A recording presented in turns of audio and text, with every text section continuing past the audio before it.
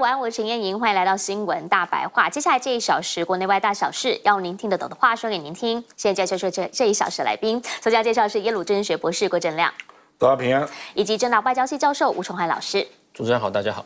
还有前空军副司令张延廷。主持人好，大家好。好，一开始呢，先带你来看到是今天下午有关于目前正在桃园地院这边进行的郑文灿声押庭还在进行当中。从下午两点钟呢，到目前已经是五点了，审就在进行。等等呢，有最新的状况，我们也会随时来为您插播。不过回过头来要带你来看到是，在今天呢，台湾的政界大家都在讨论，怎么好像。每一次哈，总统府的那个声明稿都会跟我们看到的不太一样呢。好，直接带你来看到是这个是 A I T 的新任处长叫古立言，他呢到了总统府里面来跟我们赖清德见面，两个人见面当然是相谈甚欢啊。可是后面就发现了出来的讲稿不太一样。我们先来看看当时画面。美国将记得继续支持台湾，借符合美国以长长久以来以台湾关系法。三个联合公报和六项保证为指导的一项政策。好，讲到就四个字啦，一中政策。一中政策这四个字，其实孙小雅，也就是前 A I T 处长来的时候呢，其实并没有在跟蔡英文会面那个时候讲到这四个字。今天讲到的这四个字了，而且呢是讲的时候有新闻稿里面有 A I T 的新闻稿里面有，然后 A I T 它网站上面整个通篇它的逐字讲稿里面也有。好，可是问题是这个是我们的总统府的新闻稿，就发现了，哎，有啊，前面都一样啊，结果美国支持台湾符合。美国长久以来的台湾关系法、中美三个联合公报以及六项保证为指导政策，一中政策啊，可这么敏感，这四个字竟然不见了。不想面对的是什么呢？美国为什么之前不讲，现在要讲，又是为什么？当然就是因为情势关系啊。国防部给我们一个最新的图了，说现在发现说对岸的歼六十，还有大陆的山东舰，它其实呢就在台湾的周边，而且呢六十六架的共机群竟然就开始对我们有开始进行干扰。您知道吗？二十四小时以内，六十六架七艘共建，五十六架越过中线，这个跟我们过往所听到的数字频率，是不是都大大的增加，一段的创下新高？大家就想问，这样的两岸关系，当然会让大家觉得敏感，会让大家觉得。是比较紧张的氛围，而不止我们紧张，日本也很紧张。日本看到了山东号的航母战斗群来之后呢，他们的战机也紧急起飞了。因为呢，最近日菲还签了一个互惠的准入协定，他们的讲法就是要抵抗中方所带来的各式各样的威胁。同时，他们也认为啦，这一次呢是在。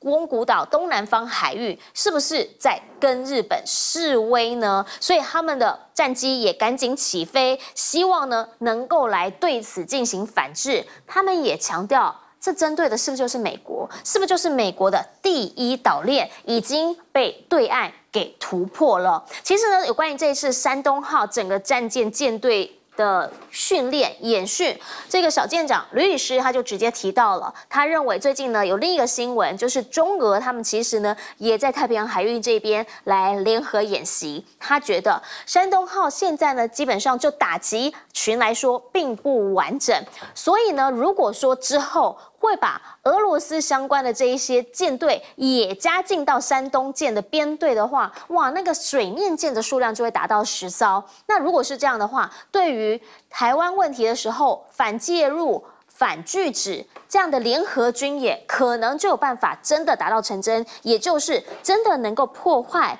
美方的第一岛链，然后真的能够将他们所有的援助都排除在外。他觉得这对于台湾来说会是一个最坏的状况。至于南海呢？南海现在呢，你会看到菲律宾虽然感觉很强硬，但是某些上面其实最近嘴巴有比较软一点点。他们呢是指控菲律宾是不是有在破坏珊瑚礁生态？中方现在也指控他们说，你们把船放在那里坐滩，那个才叫做破坏珊瑚礁生态。双方呢都各自的在要求，甚至呢中国还要求菲律宾撤走军舰，避免破坏生态，强调呢那个才是真正的原因。菲律宾讲的当然就是你们才是凶手，开始变成了生态之战了。哎，已经又把先前那个战舰互相对上，然后对峙的画面。变成了在生态上面的一个彼此之间的较劲，开始有不同的氛围。台海这边则是现在仍旧有兵凶战危之感。请教亮哥怎么样来看？因为光一个 AIT 新任处长那个一中政策四个字，怎么好像每一个地方，哎，还是真的府方发言人他们没有录到这一些东西，所以才会漏掉那四个字。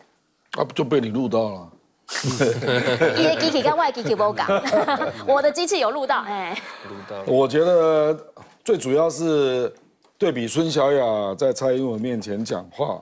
是就没有这个说法嘛？啊，不，因为他当然对蔡英文维持现状的努力是满意的啦。嗯，那蔡英文也从来是接受两岸人民关系条例。是，虽然他也是隐晦的表达互不隶属啊，可是赖清德是到现在为止从来没有接受过两岸人民关系条例。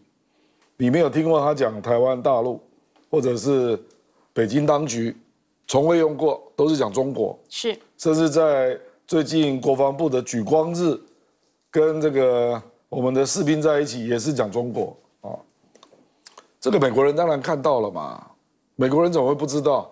而且你看邱垂正最近都在说两岸就是两岸。对啊。然后梁文杰也跟着改口。嗯。可是他们没有办法改他的长官啦。他的长官就是赖清德啊。那赖清德谁能够跟他说上话？当然就是 A I T 啊。啊，所以我觉得这个当然就意味着美国开始评估你是不是冲太冲太猛了啦。嗯，那引起了两岸的一些变数，并不是美国在大选之前所乐见的啦。啊，我觉得大概是这样的氛围啦。事实上，你去看最近美国在日本方面跟菲律宾做的动作啊，比如说菲律宾是九月要。吕宋岛他要撤走那个低峰的中程导弹嘛？是。然后十二月，他要从冲绳撤走四千人到关岛，撤走五千人到夏威夷啊。然后你再看最近的环太平洋军演，你看那个军演的位置有多远？那个军演的位置几乎已经到夏威夷那边去了。对。所以这个难道你还看不出来吗？美国对第一岛链，如果万一发生战争？美国已经逐渐把自己布局到第二线或第三线去了，嗯，就大概是关岛啦、澳大利亚啦，还有夏威夷。那如果是在第一岛链呢，可能只留这个滨海作战团呐，那那一团大概只有两千人啊。我觉得这种大趋势，如果你都没看到啊，那我觉得，我觉得日本当然是看到了啦，所以日本会紧张啊。那可是他跟菲律宾的这种 RAA 是没什么用的啦，因为对中俄来讲，他的对手是日美啊，嗯，所以重点是美国有没有进来啊，嗯，啊，可是我们看到的是美国在撤出啊，嗯，所以你日本跟菲律宾建立这种互惠协定，跟澳大利亚建立这种互惠协定意义不大了，因为你们这些国家都太弱了，嗯，我觉得中俄他所在乎的是美国啦。就看美国有没有有没有进场啊？是，可是俄罗斯很明显是要进入亚洲了啦。是啊，我觉得未来不会只有在日本海啦，或者是白令海峡那边转一转啊。我甚至认为他未来还有可能穿越台湾海峡到越南。嗯，我说俄罗斯了啊。那俄罗斯要这样做，当然也要跟中国大陆打招呼啊。呃，所以我是觉得，所以这个这个整个局面对日本来讲。他当然会忧虑嘛，是。啊，啊，菲律宾也看到了，呃，而且中国大陆最近，我认为就是在对仁爱礁，在用另外一种方式来诉求正当性啊，就我不要跟你吵主权呐啊，嗯，因为主权又会吵到南海仲裁，我就跟你讲环保问题了，你这个仁爱礁那个破船放了二十五年了，已经造成海洋生态环境的污染，而且中国大陆是用遥感卫星还有现场的勘测。然后做了一个报告啊，嗯，所以你菲律宾如果不服哦，哎，对不起，你也要做一个报告啊，不然你凭什么说服别人呢？因为中国大陆那个报告有英文有中文啊，对，所以他显然就是要说服国际舆论，尤其是东南亚国家，对不对？所以我认为啊，这个菲律宾也要有一个比较完整的生态调查报告啦。那我认为如果都没有。那中国大陆那个就形同是最后通牒了啦，哦，就是说你菲律宾要不要自己处理？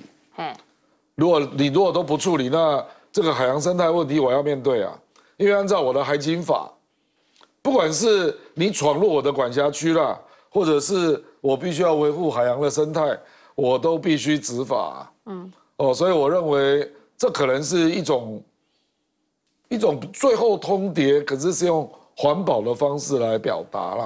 啊。那可能未来两三个月内，你就会看到这个问题有一个最后的解决，这样。哦，就是也许现在呢，在两三个月内，毕竟他们现在也开始在海事的磋商嘛。对。就讲一讲之后，会不会真的就是用这样子的一个方式，对，然后来帮彼此解套？那是你要拖走还是我拖走？反正最后可能就是会走。那当然，上面有那个一连的士兵嘛。嗯。那因为他也可能动武啊。嗯。那这个场面就很难看啊，就这样。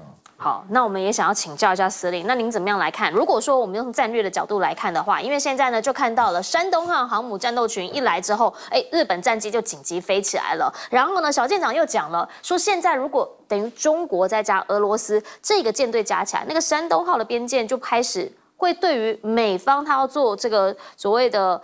希望能够援助台湾、驰援台湾，就会真的造成了反介入、反拒止。您怎么样来看？那中国大陆跟俄罗斯在这个长航，就是战略巡航这一方面行之有年，每年都有，包含海上，也包含空中，啊，空中的战略轰炸机，然后海上的这些驱逐舰，还有这个油弹补给舰，还有飞弹护卫舰都有，这个形式都蛮多的。然后也通过这个。这个日本的这种各个海峡，那再然后，他们在这一方面的演练默契都应该是已经到达成熟的阶段。那将来会不会说跟这个航空母舰的这方面的演练，然后做一个攻防上面，红军、蓝军这种攻防的演练，我认为不要完全排除，因为因为等到手大家有默契了，那就实施攻防嘛。攻防嘛，就有一定要有攻击方跟一个防卫方，嗯，然后这样来做的话，那就在第一岛链。那在第一岛，在第二第一岛链，这第一岛链的话，那我们台湾是最最最近的嘛？是啊，那对不对？那你出出公谷也好，或者是出这个巴士海峡，那就是在我们台湾的东边。这一次，它的山东号的航空母舰在距离台湾大概东边大概六百五十公里到七百多公里之间，在这边活动。然后我们可以看得出来，还有就是针对台湾的这个解放军的海空联训，海空联训，我看到它有几个特色。第一个，它兵力越来越大。